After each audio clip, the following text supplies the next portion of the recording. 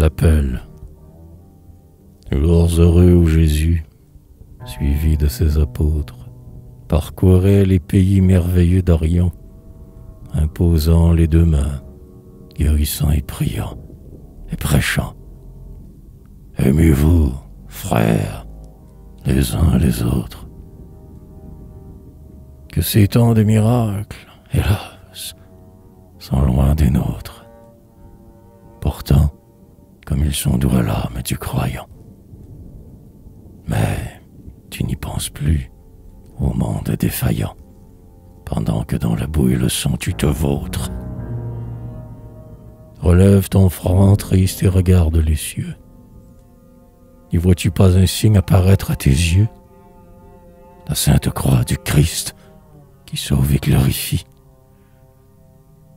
N'entends-tu pas l'appel divin descendre à toi? Vous qui tremblez, venez, que je vous pacifie. Vous qui pleurez, vous qui souffrez, venez à moi.